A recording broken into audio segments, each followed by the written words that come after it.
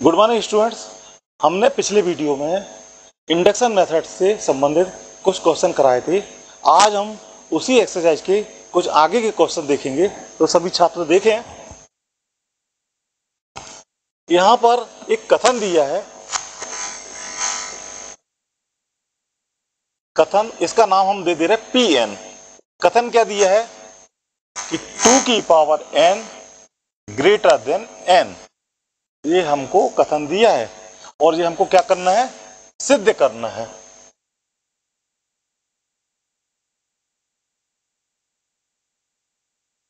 सिद्ध करना है। ये हमको सिद्ध करना है। तो छात्र देखें कि हम सबसे पहले इसकी इंडक्शन मैटर देखते हुए स्टेप वन। सबसे पहले हम करेंगे एन बराबर वन के लिए। एन बराबर वन के लिए कथन क्या हो जाएगा आपका? पी वन पी वन क्या हो जाएगा? टू की power one is greater than one n के स्थान में हमने क्या रख दिया? वन रख दिया। तो ये तो ऑलवेज सही है। क्लियर दो जो होता है, एक से बड़ा होता है, ये सही है। अब हम स्टेप टू देखते हैं।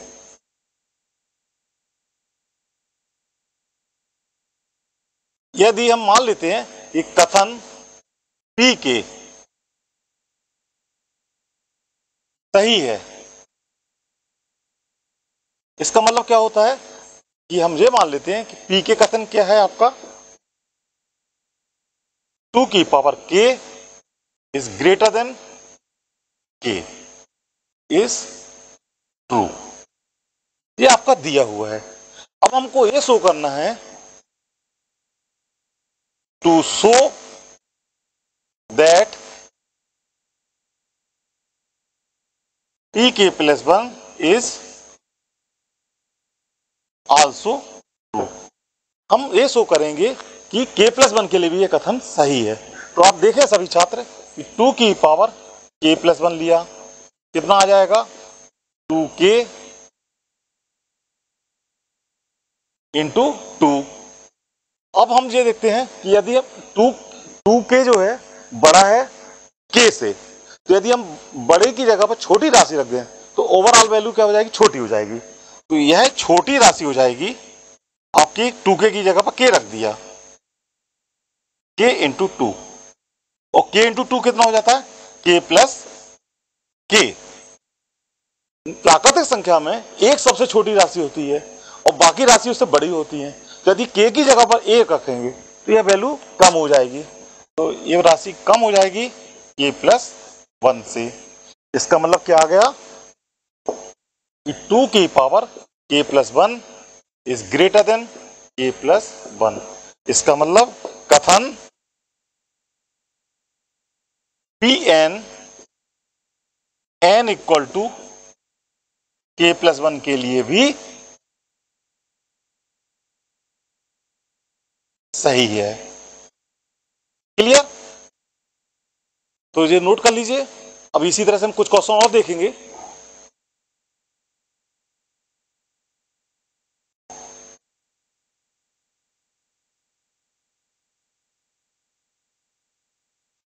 अब हम अगला क्वेश्चन देखते हैं। यहाँ पर कथन आपका दिया है। पी एन क्या कथन दिया आपका? सेवन की पावर एन माइनस थ्री की पावर एन चार से विभाजित है। ये हमको देखना है, सिद्ध करना है, ठीक है? ये आपको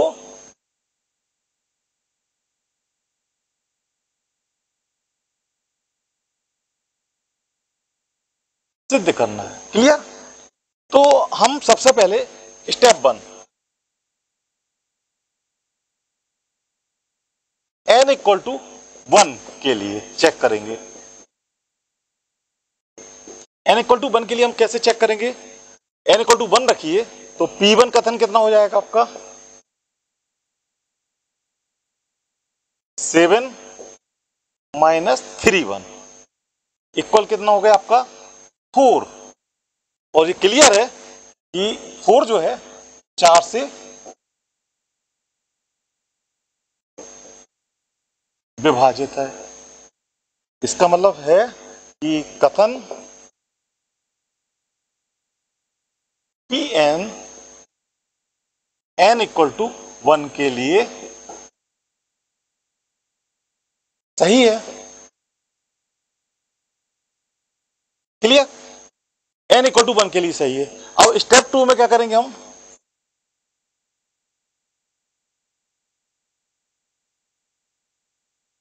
मान लो p n n equal to k के लिए सही है। ये हमने मान लिया। इसका मतलब क्या होता है? कि पी के कथन आपको हो जाएगा। पी के कथन कितना हो जाएगा?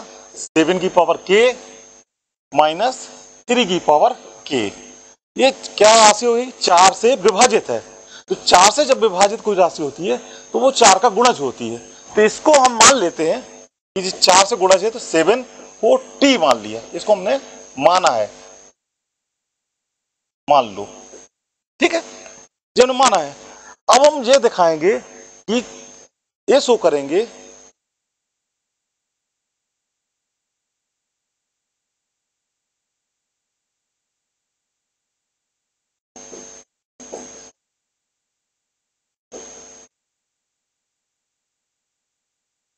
अब हम कथ, यह जो कथन दिया है के प्लस वन के लिए भी सही दिखाएँगे। ये हमको शो करना है।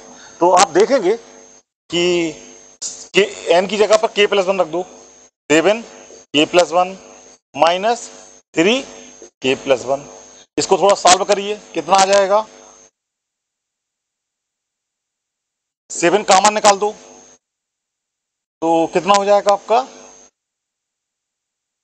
यहाँ बचेगा सेवन के यहाँ से सेवन कहाँ निकाला? तो सेवन के और हमको यहाँ पर minus three k minus three k हमको चाहिए है, मान लो इस तरह से इस फॉर्म में लाने के लिए। तो यहाँ पर चूँकि हमने इसको माइनस किया है तो यहाँ इसी राशि को प्लस कर देंगे। तो सेवन इंटू थ्री के ये राशि आपके इसमें नहीं था, इसमें। तो हमने इसको सब्ट्रैक्ट किया। वही राशि को इसको मैं प्लस कर दिया। और साथ में क्या है यहाँ पर? Minus three k plus one clear अब आप देखते हैं कि यह राशि आपके किसके इक्वल है? फोर्टी के। तो ये कितना हो जाएगा? सेवन इंटू फोर्टी क्लियर और इसमें से कॉमन क्या निकलेगा आपका? थ्री के कॉमन निकल जाएगा। तो अंदर क्या बचेगा? Four minus seven minus three तो कितना आ गया आपका? फोर इंटू सेवेंटी और ये सेवन माइनस थ्री कितना होता है? फोर फोर इंटू थ्री के अब इसमें से देखेंगे कि फोर कॉमन है। तो फोर कॉमन निकालेंगे तो यहाँ क्या बचेगा? सेवेंटी प्लस थ्री के। अब आप देखते हैं कि ये जो राशि मिल रही है हमको, वो क्या है आपकी? चार का गुणज है। ये क्या है? चार का गुणज है। यानी चार का मल्टीपल है। इसका मतलब होता है कि seven k plus one minus three k plus one चार से विभाजित है। ठीक है? जब के प्लस वन के लिए सही है तो के प्लस टू के लिए भी सही होगा। और ये कथन आपका सभी के लिए सही होगा।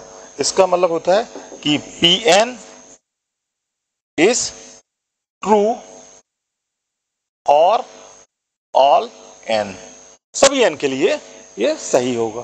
तो ये आपको मेथड है, हम दो तीन सवाल अभी करे हैं। तो इसी तरह से आप इसको ध्यान से देखें कि हम किस स्टेप पर फोकस कर रहे हैं और किस तरह से इसको लिख रहे हैं। आप उसी तरह से आपको सभी क्वेश्चन में प्रैक्टिस करना है। हम एक और नेक्स्ट क्वेश्चन देखते हैं।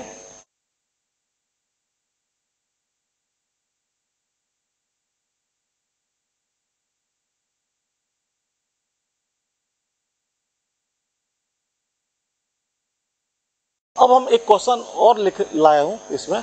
तो आपको यहाँ पर कथन दिया हुआ है। पी एन इक्वल टू आपको एक कथन दिया है पी एन कथन है। क्या है आपका? N n plus one, n plus five. तीन का गुणज है। ये हमको दिखाना है। तो सबसे पहले स्टेप क्या करेंगे हम? एन इक्वल टू वन के लिए। एन इक्वल टू वन के लिए हम चेक करते हैं कि एन इक्वल टू वन रखते हैं तो पी वन कथन क्या हो जाएगा आपका? One one plus one one plus five कितना हो गया आपका? टू इंटू सिक्स ट्वेल्व और ट्वेल्व जो होता है, तीन का गुणज होता है कि नहीं? तीन का बारह में भाग जाता है तो तीन का गुणज है। इसका मतलब पी वन इज़ ट्रू यह सही कथन सही है। अब स्टेप टू में क्या करेंगे हम? मान लेते हैं एन इक्वल टू वन के लिए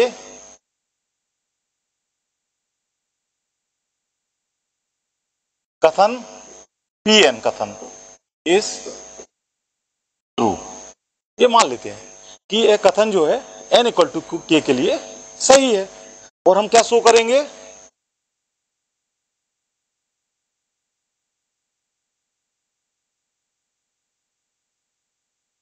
के प्लस वन के लिए भी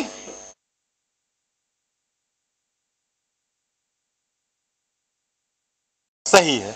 ये हम दिखाएँगे, ठीक है? के के लिए हम सही लेके चलेंगे और के प्लस वन के लिए हम इसको सही दिखाएँगे। तो जरा इसको करिए आप। तो सबसे पहले हमको जो ट्रू दिया है, क्या दिया हुआ है? एन एन प्लस वन और n plus two n plus five इसको हम मान लेते हैं क्योंकि तीन का गुणज है, इसको थ्री टी इसको हमने एज्यूम किया है।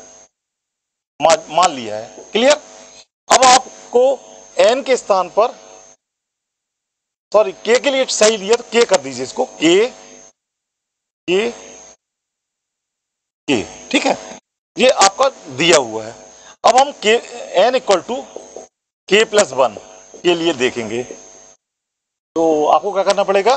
के के स्थान पर के प्लस वन रख दिया। K plus one k plus two और यहाँ पर के के स्थान पर के प्लस वन रखेंगे तो कितना हो जाएगा आपका? के प्लस सिक्स इसमें से आप के प्लस वन को छोड़ करके दो का मल्टीप्लाई करो। कितना हो जाएगा? के स्क्वायर प्लस टू के और प्लस सिक्स के तो कितना हो गया आपका? एट के और सिक्स इंटू टू ट्वेल्व अब हम इसको और सिंपल करते हैं। के प्लस वन तो हम देखते हैं कि के स्क्वायर हमको यहाँ फाइव चाहिए। तो के प्लस फाइव के। और यहाँ एट था, यहाँ थ्री के प्लस ट्वेल्व इसमें से आपको क्या कॉमन दिख रहा है? इसमें से के कॉमन निकाल दो। यहाँ बचेगा के प्लस फाइव और इसमें से थ्री कामन निकाल दो तो के प्लस फोर क्लियर अब आप देखें के प्लस वन का अंतर मल्टीप्लाई कर देंगे तो के इंटू के प्लस वन और के प्लस फाइव और यहाँ पर कितना हो जाएगा? Three k plus one k plus four तो हम ये देखते हैं कि यह वैल्यू किसके बराबर है? यह वैल्यू आपकी थ्री टी के बराबर है। Three t. और यह वैल्यू किसके बराबर है? Three k plus one k plus four इनमें से तीन को कामन निकाल दिया। तो अंदर क्या बचेगा?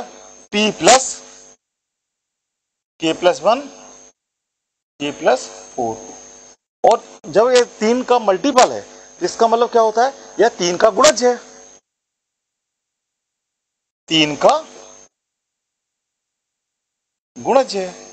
और जब तीन का गुणज है तो इसका मतलब होता है कि कथन जो है आपका P n